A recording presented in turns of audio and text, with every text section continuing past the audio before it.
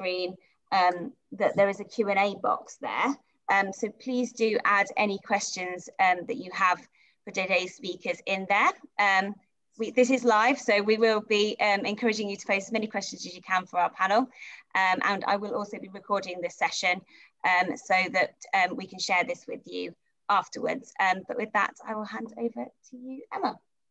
Thank you very much. Um, and good morning, everyone, and sorry about the technical difficulties, um, but do, welcome to the virtual event focusing on all things audience addressability.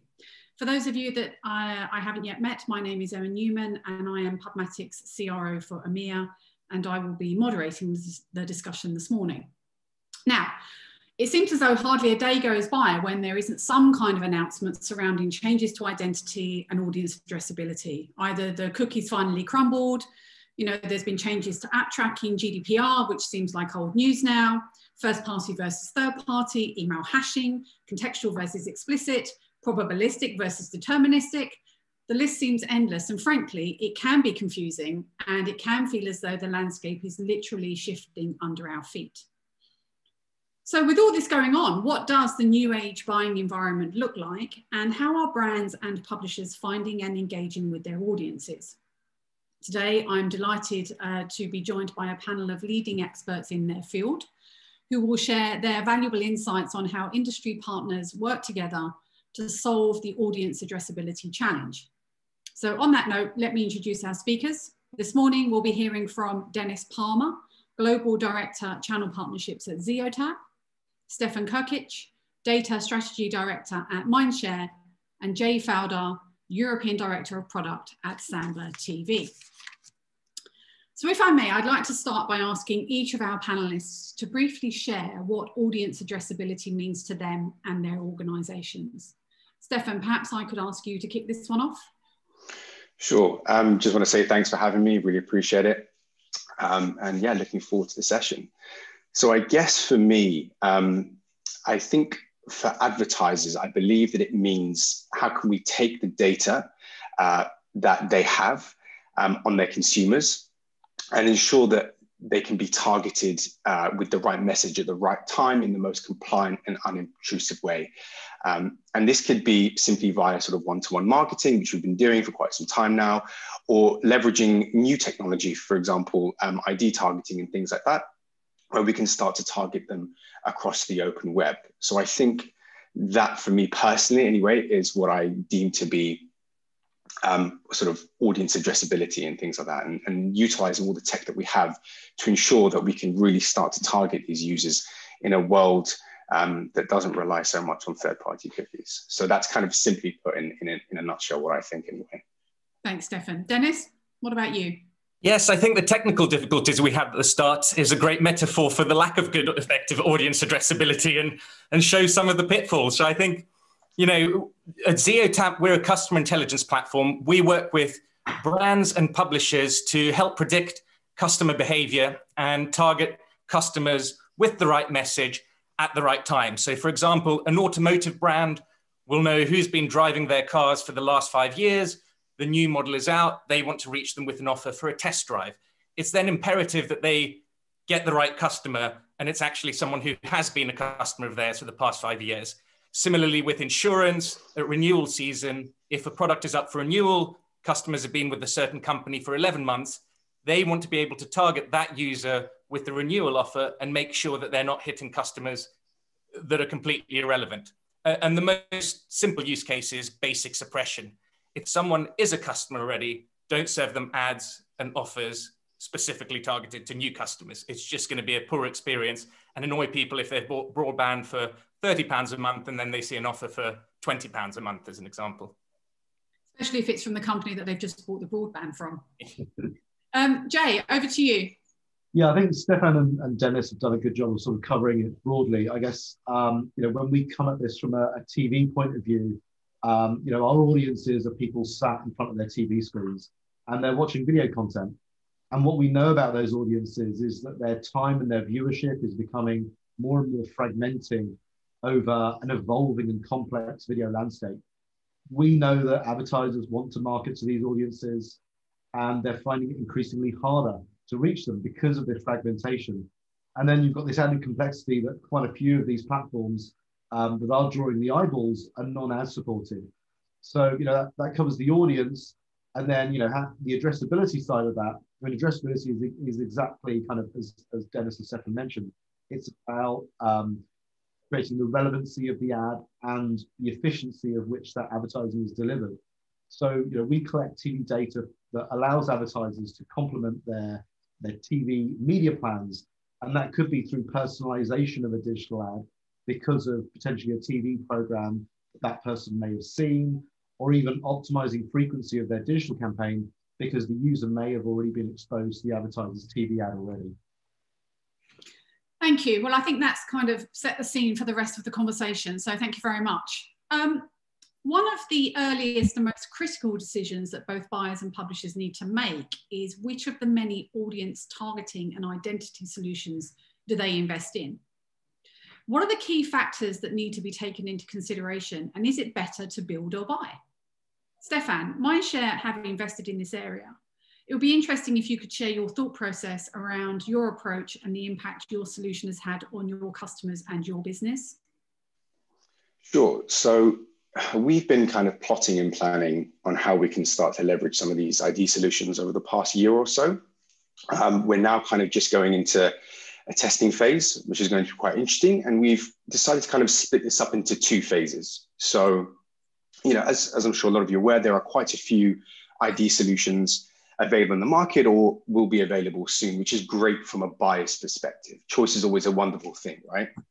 However, I don't think it's possible for you to work with every single provider. I think it comes to the point where you need to maybe look at a couple and then start testing to see, okay, who, who are the top three or the top five ID partners that you can work with potentially on a global scale that have the ability to match your first party data so that could be, for the time being, your cookie-based device ID-based data, and more importantly, excuse me, your addressable data. So email addresses, mobile phone numbers, and things like that.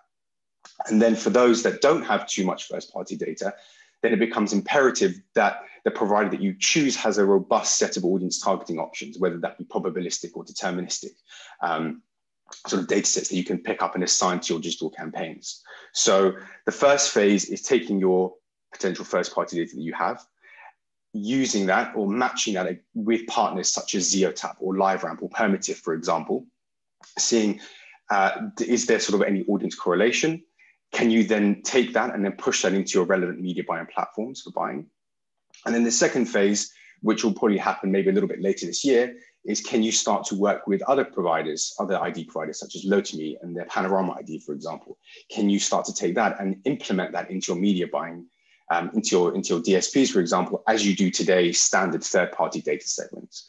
So the idea is to see, you know, can these IDs actually function in a similar way to what we've been doing over the past couple of years using third-party data segments? Just click, select, add to your campaign, and off you go. Are the cost efficiencies there? Is the scale there? So I think, again, purely from our sort of mindshare perspective, that's kind of the two pronged approach that we're kind of going with, ensuring that we can use first party data with these ID solutions. And then can we just use a whole range of ID solutions going forward once they've been integrated uh, more so on, on the SSP and on the SSPs and the demand side platforms as well. So that's kind of where we are at the moment, uh, looking to get some tests up and running and hopefully have some interesting results maybe by the end of Q2, uh, Q3. Okay. And Denis, when you're speaking to publishers and buyers about this, what are the key things you recommend that they take into consideration and what role do ID solutions play here? Yeah, it's a great question. I think there's no one size fits all answer, sadly. I think echoing Stefan's point, while we have an ID solution, it's deterministic, it's based on matching definitive users from brands with publishers.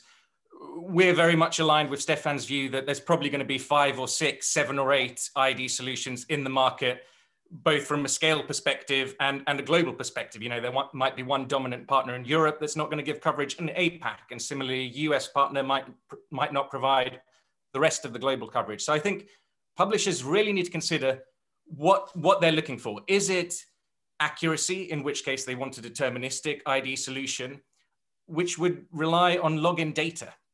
So we've seen recently a lot of publishers putting up paywalls potentially, or even just free registrations, trying to explain the value. Here's why we need you to log in so that we can serve more effective ads. But that's not going to be feasible for all, all publishers. So I think it really is publishers need to look at what are their goals, which brands are they working with, and then which ID solutions are going to supplement that alongside other targeting capabilities like contextual, which again, some contextual, some publishers will have great contextual opportunity. You know, in the travel sphere, if you're writing a review about a particular destination, it's a prime opportunity to show hotels for that destination. But for news content, for example, it's very hard to target to the story and there can be negative contextual association. So, so for publishers with large volumes of traffic that are able to get a value exchange, that can get login, certainly a deterministic solution might be the way to go. But I, I, we'd advise very much just testing, seeing what's out there, and also being mindful of what is going to bring the advertiser demand. It's great partnering with solutions, but if there's no advertisers on the end of it, and it's not going to be a seamless transition, eh, you may have wasted your time in integrating that. So I think the big things are what is it that you're looking to achieve? What are your KPIs? And which solutions are going to give you the advertiser scale, demand, regional coverage that you're looking for? And also being very mindful of privacy, compliance, and checking all that as well. Mm. Um, of course, using data in workflows to increase the ROI of media buying isn't new. We've been doing it ever since the internet started. Um, Jay, Samba TV have been at the forefront of utilising TV viewership data to increase the return of media investment.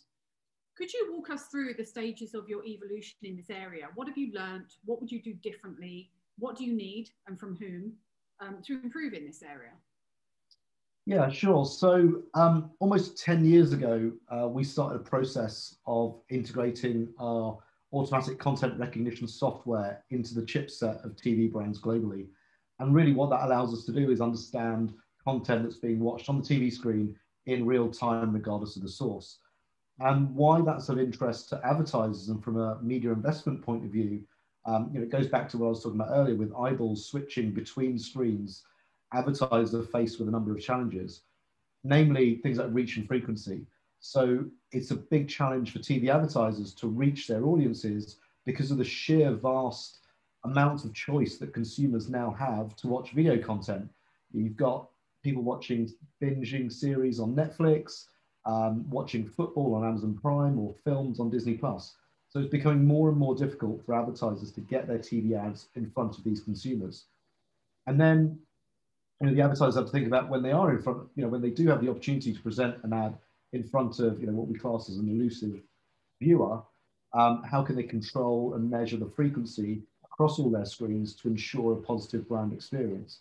So our evolution has kind of followed the trend of the growth in consumer choice. So you know, everyone's seen the, the, the sort of subscription charts from Netflix and Amazon.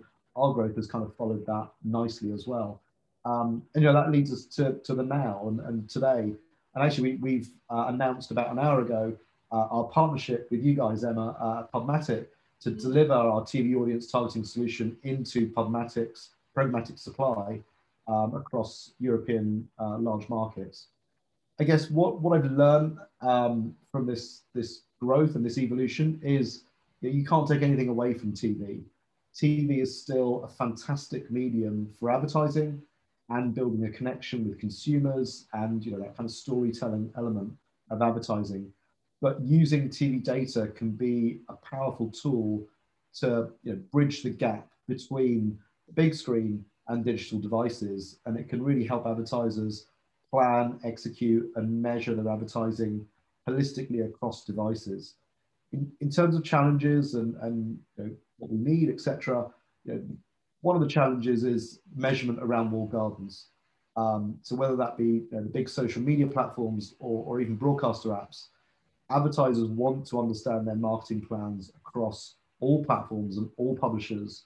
And today that's something that isn't made um, made very easy. So you know, a bit more cooperation from those guys around measurement would be would be kind of welcomed. Yeah. Um, Google's most recent announcement that they will not use third-party identifiers across their own ad stack and browser to track and measure user behavior from next year onwards. Accelerated the need for buyers and sellers to create a robust cookieless advertising ecosystem? Jay, as you're in front of me, I'm going to direct that one to you first, and then obviously I'll ask um, Stefan and Denis to, to chip in with their thoughts as well. Yeah, sure. I mean, I think it's it's worth not forgetting that it's been over a year since Safari started blocking third-party cookies. Um, so the concept around this has been uh, has been around for a while, but I think because Chrome and, and Google's got the biggest market share out there, you're right. This is an announcement that has accelerated everyone to think more about identity and you know, what happens in a post-ad cookie world. And you know, I think it is moving the buy side and sell side to take back control um, of their consumer relationships by creating um, these first-party relationships, both with you know, from the publisher side with their site visitors, and from a brand and advertiser side with their consumers. And I think you know Denis mentioned it from the from the publisher side. Some some publishers are going to do really well at this, and some may not. Um, you know, I think from an advertiser perspective, I think e-commerce verticals will do very well at um, you know kind of creating that first party relationship with consumers, but some some verticals will suffer. Um, you know, I don't know many people that are going to sign up for updates on you know chewing gum or, or cleaning products, etc. So advertisers are going to have to get creative and smart about how they engage with their customers. And I think most importantly, when they, how they engage with them in a positive way. Mm. Um, Stefan? Uh, basically, I agree with what Jay said. Um, it's pretty much gotten everyone into gear um, to really think about their solutions. And I think a lot of people actually panicked a little bit and they thought, well, what about, you know, we've been hearing about all these great identity solutions. What happens if we try and use it in DV360 or within the Google tech stack? Um, so, as far as I'm aware, I think it should still be good to use. Maybe just don't um, maybe exclude Google's ad exchange from the buying. Um, obviously, leverage Pubmatic um, to get some of those identity solutions into those platforms as well to ensure that everything is running as smooth as possible. Um, and I think that, as, as Jay mentioned, it's, it's a good thing that people are now starting to take power back into their hands, really, and not and not kind of be beholden to the walled gardens. Um, so I think it's nice that everyone is going to have plenty of options. Uh, like I said, there's going to be a massive focus on first party data, so addressable data and things like that, using identity solutions. Um, and I believe there's also going to be a massive, massive uh, boost in contextual targeting, already working with a couple of partners on that as well to kind of help mitigate some of the damage of, of not having third party cookies anymore. So, yeah, I definitely think it's a good thing. And I'm glad that now people are really starting to, to think about what they can do in the next six to 12 months and how they can start to figure out the best ways of targeting users. Yeah, you've both of you touched on a couple of points. We've got a couple of questions coming in. So um, Denis, I'm going to let you answer the Google question first, and then if you don't mind, I'm going to jump to a couple of the audience Q&A because I think it's pertinent to what we've just been discussing here. So Denis, just your view on um, the Google question that I raised a second ago. Sure, and I think it's a fantastic time to be outside of the walled gardens because the opportunity for collaboration has just accelerated. And it, you know, from partners that we've been speaking to, they're just so much more willing to embrace and start testing new solutions. Uh, we've seen a lot of uptake and interest in first party data. So, brands that have been able to build customer relationships that have details, that know about their customers, being able to activate that across publisher sites is a big, big focus. So, a lot of brands, I think, are, are trying to activate and work with their first party data more effectively. In the case that Jay mentioned of CPG brands, for instance, they don't always have a direct to consumer relationship. And so, this is where publishers can really come in and be helpful. They, through their potentially login walls or subscriptions or registrations can capture some information about consumers and then help that match it to the brand. So I think absolutely great time and a lot of lot of interest in what can be done with first party and collaborative data. Perfect, thank you. Um, actually, while I've got you there live, Denis, if you uh, so to speak, one of the questions that's coming from the audience is around the adoption of ID solutions. Um, are you seeing any barriers to publishers, and maybe Stefan, I'll ask you from a buying perspective as well, to the adoption of ID solutions? And if so, how are you how are you helping publishers overcome those? Yeah, it's a, it's a great question. I think one of the barriers is first understanding and knowledge of the ID solutions. I think it's important to, you know, I touched on the point earlier, understand is it deterministic? Is it going to be matching one to one with brands? Is it probabilistic? Is there a lot of scale? What is the coverage? Is this going to cover me in just the UK or will it cover France, Germany? A publisher's looking for an international footprint. I think just the sheer number of ID solutions that are out there is causing a little bit of, I don't want to say saturation, but a knowledge saturation, trying to understand what the benefits are and why why one should be adopted over the other. And also the barriers are, you know, it'd be great to test all, but I think on publisher side, resources are limited. Technical implementation, they do involve a little bit of code, a little bit of privacy, security, compliance steps to go through. So I think it's important to, to choose wisely and get it down to those five or six that Stefan was alluding to earlier in trying to get the most impact out of the audiences that publishers do have with the fewest possible number of ID solutions. Mm. We have a solution for that, but this is not a sales pitch. But if anybody wants to know what it is, you can DM me after. Um, Stefan, how about you? What are you What are you hearing from buyers around? You know, is, is there reluctance in this area?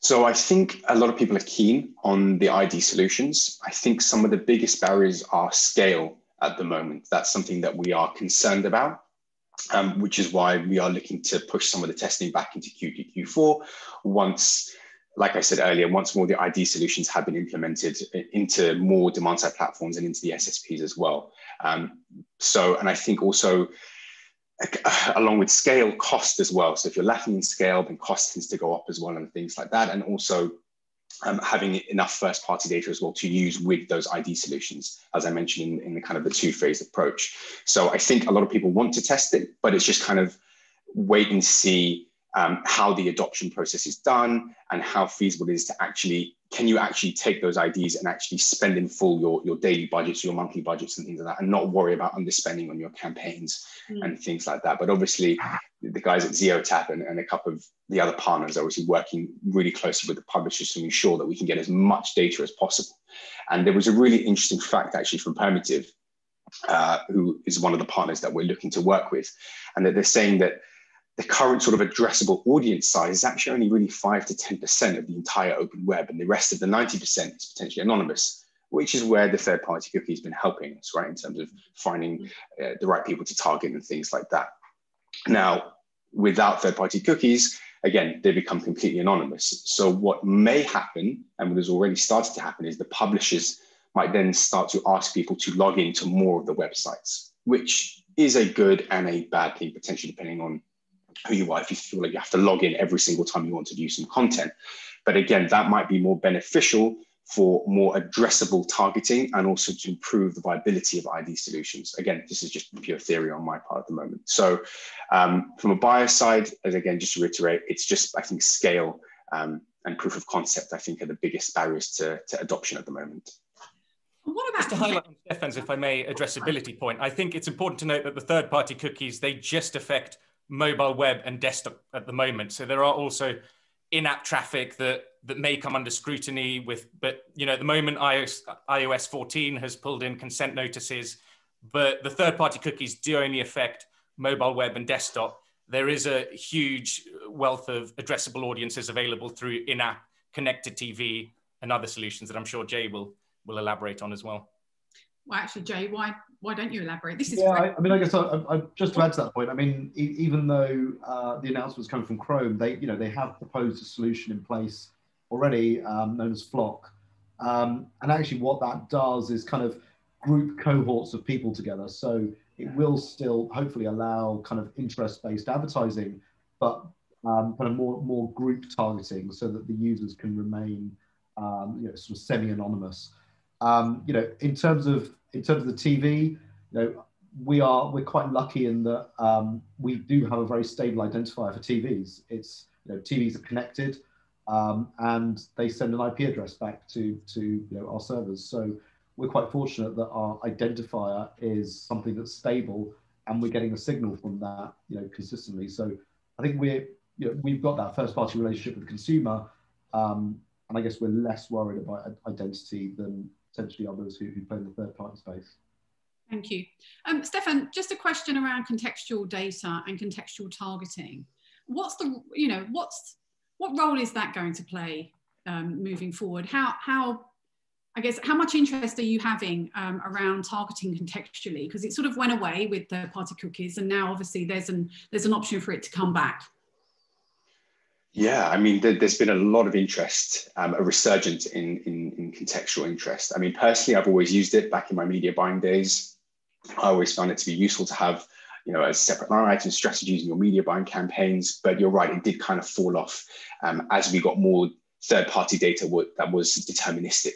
Um, and now that all these announcements have happened, we are now starting to work very closely with partners such as Peer39, with Captify, with Grapeshot, and they're helping us to build contextual segments that we can then use to target across a wide variety of our clients and campaigns. So yes, there is a big renewed focus. I think that is that is something that people should start to use more often because at the end of the day, you're still uh, more likely to hit a relevant audience when they're browsing specific content and things like that. So I myself, you know, I browse a lot of technology, gaming sites and things like that. So if I start to see ads for the latest tech, the latest phones, the latest laptops, uh, and things like that. Whilst I'm browsing these websites, that makes sense to me. So I think people definitely need to start working with more of these partners. And if you're locked into the walled gardens, then definitely, you know, for example, if you're using DV360 quite a lot, definitely leverage the Google data. I know some people might have their thoughts about that, um, but it's just making sure that you've got enough options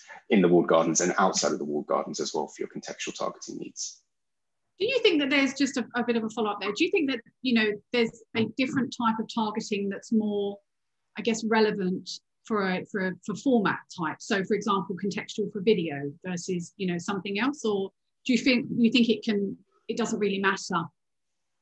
Um, gosh, that is a really good question. I think yes, I think specific formats will definitely help. So, for example, if you're looking at your high impact formats and things like that, um, let's say, you know, we got InSkin, Sublime Skins, and all those kind of guys. Yes, they have uh, their specific recommended formats, there's recommended channels or their sites that you can start to target. So I think in that aspect, uh, yes, formats become key in terms of hitting your target and engaging your audience a little bit more than your kind of just standard display and video that you might have sort of run on network or on a specific site list and things like that. Um, so I think, yes, it's good to have as many of these options as possible, budget dependent yeah, always budget dependent. Um, just going to just sort of change tack a little bit. A uh, question for you, Jay, just around publisher alliances. Actually, what do you what you know? How do you feel about publisher alliances? What would be required, in your opinion, to make one truly sustainable? We sort of seen them a few years ago flourish and then sort of drop off the radar, but you know, definitely I, I see them. I see them coming back. Certainly across Europe, a couple in the UK as well. Yeah, um, I think you know, I think the the publishers are seeing the wall gardens take their lunch, right? And so, you know, I think there's a feeling from those guys that together they're stronger, and you know, potentially cost, etc., and resource around creating identity solution individually is is painful. So, um, you know, I think there is a there is a benefit for these guys coming together. Um, and you've got the likes of you know the Ozone project that is is an example of a very successful publisher alliance um, you know, it will be interesting to see whether more publishers join that or whether you know, other alliances form together. But I guess Denis, you'll probably know from more from the publisher side. Yeah, I think one of the challenges we've seen, you know, the alliances are great to echo Jay's point, but they tend to be localized to one market, like a UK alliance, a German alliance in the form of NetID. And a lot of the big international brands tend to op- operate at a European or a global level. So I think for an alliance to really take off, it would have to be at the very least pan-European, maybe not global, but you know, so that a brand looking to target their audience doesn't need to go and put in place relationships locally across the UK, France, Germany, Italy, Spain, the rest of Europe, etc. One alliance that could give good pan-European, even global coverage would be ideal. Thank you. Um, actually, Denis, while, while I've got you here, if trust is the central guiding principle for users when deciding who and how they will allow their data to be used online, how do we as an industry go about earning the, well, I guess re-earning the trust of our users? Yeah, it's a it's a great question, and I think there is a certainly a stigma around data. You know, as, as soon as users hear data or targeting, alarm bells ring, and there have been some horror stories and documentaries all about how data is used inefficiently personally, I'm a very firm believer that if a brand or a publisher uses data in the right way, it can only be a positive experience. But I think uh, consumers tend to be oblivious to that. Like one, one example I like to highlight is that when I went to visit Blenheim Palace, which is a lovely stately home and the birthplace of Winston Churchill, I signed up for my ticket and left my email address. Three months later, then I was out on the open web and saw an advert for an Elton John concert at Blenheim Parrot Palace at a very reasonable price. And, you know, did I go, oh, how dare you? What are you doing with my data? That's really intrusive and annoying. No, I was like, this is brilliant. I'm going to go and see that. You know, in the same way, if someone's a football fan or wants to go to Wimbledon or is an opera fan, are they going to be annoyed when when they get an ad for Wimbledon tickets or when their football team or favorite theatre shows them a great discount? They're not going to say, oh, what are you doing with my data? That's really annoying. They're going to be, this is brilliant. I can't wait to go and see what I'm interested in. And I think it, it's about making that value exchange clearer and highlighting more the positives rather than just annoying, irrelevant ads that follow us around from brands that we've never interacted with or don't have a relationship with. Yeah, thank you. Actually, you've brought me to, it was going to be my closing question, but I think I'm going to ask it now. Um, and it's for all three of you. So it's a two-parter, so pay attention.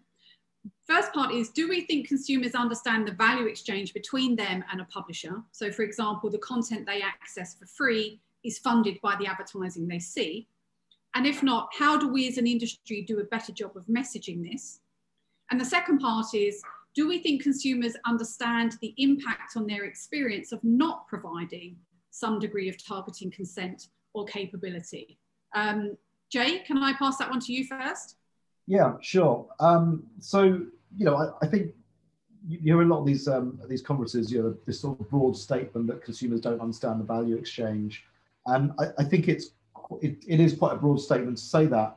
You know, there are good examples out there of where um, you know consumers are starting to understand that value exchange. I think the Guardian is a great example where you know, they've got about a million readers who regularly contribute towards their um, support journalism program. And if you think you know a bit bigger, going back to TV, Netflix has got over 200 million subscribers worldwide who pay for content. Disney Plus have got 100 million and both of these two platforms don't have traditional advertising models yet. So you, know, you can see that the seeds are being planted in consumers' heads by these platforms that, um, you know, that will contribute towards the broader education piece. Um, there's also uh, there's something that I'm just keeping an eye on, which is, is quite interesting. Um, there's an interesting project being overseen by Tim Berners-Lee called Project Solid, um, and the aim of the project is to put personal data in the hands of the consumer and not the platforms. And personally, I think it's got the uh, the potential to be very game changing. And you know, if you would bet the farm on anyone, um, you know, changing the way people view consumer data, you, would bet it on the guy who invented the internet, right?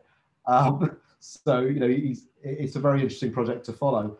At uh, the kind of Samba, we've always had that first party relationship with consumers, and so we've had to balance you know, privacy and what the value is for the consumer.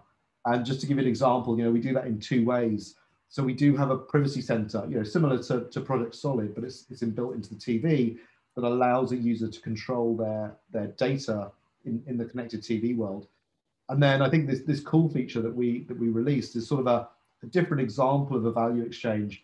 Um, it's a feature we, we released called Picture Perfect, where the consumer consents to their, their um, content and data being collected and with the technology that we have um, and AI, we understand the content that's being watched on the TV and improve their TV viewing experience in real time. So you've probably seen things like sports mode or movie mode.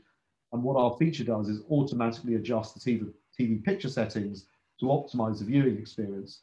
So again, it's just a slightly different value exchange to your typical sort of free content for advertising. Thanks. Uh, Stefan, what's your view around the consumer and their understanding of the value exchange and also the potential impact on their advertising experience if they don't share data of some kind? So yeah, I think the sentiment is the same. Sadly, no. You know, I think the, the vast majority of consumers don't understand the exchange, hence the mass adoption of ad blockers uh, over the last decade or so. I know that some sites attempt to explain the value exchange, especially if you're running an ad blocker. They say, "Hey, look, you know, if you turn it off, this massively helps us," and allows us to, to do advertising and keep our site running and things like that. But obviously, I presume a lot of people still block it regardless. Um, but I think there just needs to be a wider general public education piece on that, if that's even possible, to really make them understand that it's you know the online eco. This is how it functions. You technically view this content for free, and I don't think a lot of people actually understand that. That when you're going to a website, you know the publishers they have to make their money somehow. So again, I hope it's possible, but there, has to be a way to educate the masses um, to, to ensure that they kind of understand how everything works. And to your second point, again, a similar situation. The general public don't fully understand the situation. Again, they see the words tracked uh, and things like that, and immediately alarm bells start to ring, and then they reject all forms of consent, and that can potentially ruin their online experience without them even knowing it, uh, because they at some point they'll start to see receive non-relevant ads. Um, so again, it's it's just a massive education piece to understand that it's actually necessary um, for us to be able to understand what your interests are, what you like, and things like that. So we can actually show you things that you will like and not just receive random things that have no meaning for you, which will then in turn make you hate online advertising even more. Um, so yeah, I'm, I'm really hoping there is a way that we can kind of educate everyone so they can understand that a little bit better. I think we could really, being as we are, you know, the advertising industry, but let's see. Um, Denis, what are your thoughts there? Yeah, I think uh, sometimes we take it for granted working within the industry that consumers do understand it. And, you know, it's so obvious that this is free because of the advertising. I think what would be wonderful to see as an A B test is if consumers were asked to pay £10 a month to view that content or get free advertising, which would it be? But sadly, I don't think publishers are in a position to, to risk losing those users and running that test. So I think I, I, I, I certainly agree with Stefan that it has been an issue and people I would like to think that it is slowly getting better with like the notices that are coming up, with publishers even going so far as blocking their content unless an ad blocker is switched off. I, I think there is slowly an awareness building. The big irony, sadly, is that with the giant international conglomerates, the walled gardens and the massive retailers, consumers happily give their data and consent to everything just to see the latest photos or late, have the latest product serve.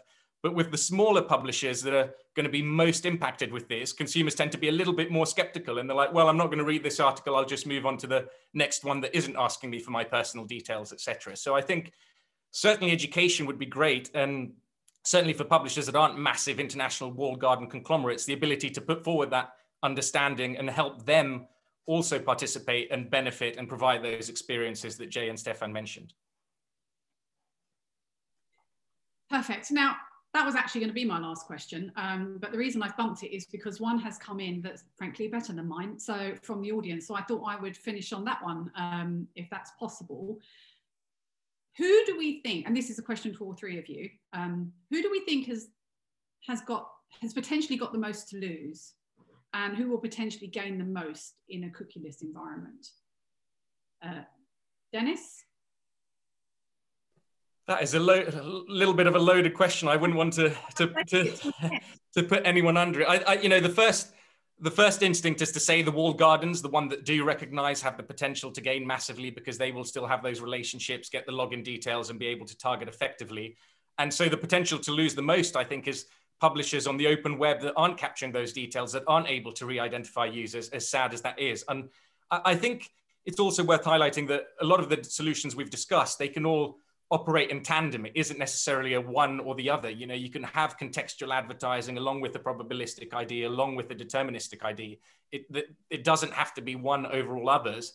And so it's best to start learning. But I think uh, unless uh, publishers that aren't currently capturing details or aren't able to build effective audiences, I think they, as it currently stands, would stand to lose the most.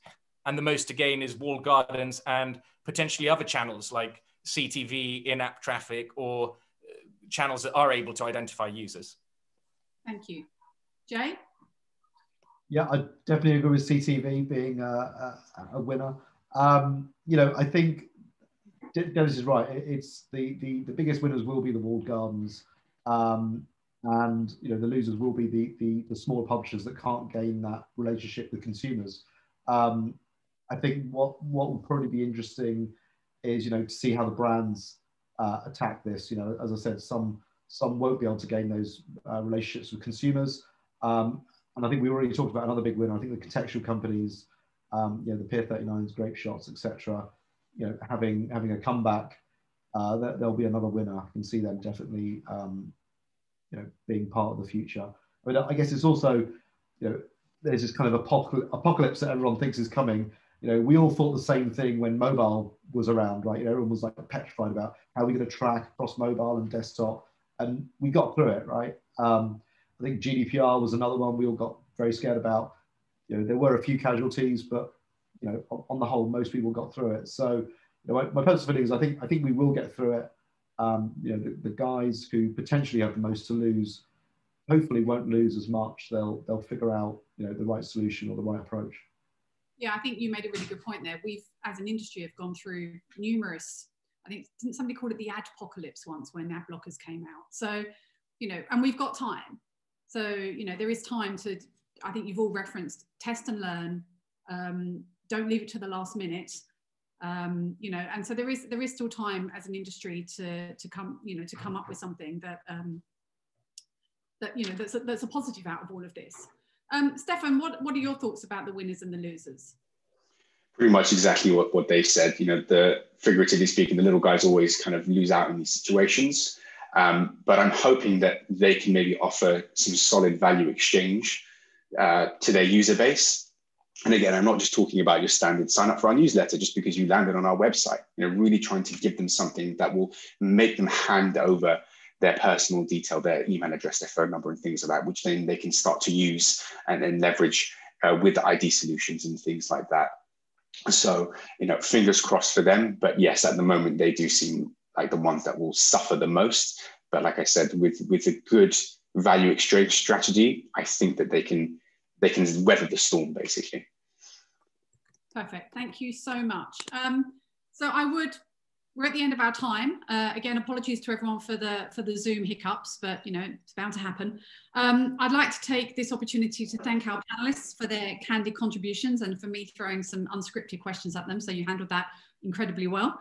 Um, and I'd also like to encourage anyone who's interested in not only discovering more about this topic, um, but who is prepared to get actively involved in shaping the future of audience addressability to reach out to the IAB Europe um, and then get involved in one of their task force. I'd also like to thank the IAB Europe today for hosting us here um, and uh, I'll hand the mic back to Helen. Hi, yes, thank you so much, Emma. That was a really great, great session, and thank you um, to all our all the panelists that participated as well. Some really great and insightful um, segments there. So thank you. Um, again, as Emma said, apologies for the slight technical difficulties at the beginning, but we're pleased to have you all with us um, and join us today. So thank you for joining. We have recorded the session, so we will also share um, that with you all after this. Um, but with that, I hope you all have a wonderful day. Thank you. Bye. Thank you. Bye. Thank you. Bye-bye.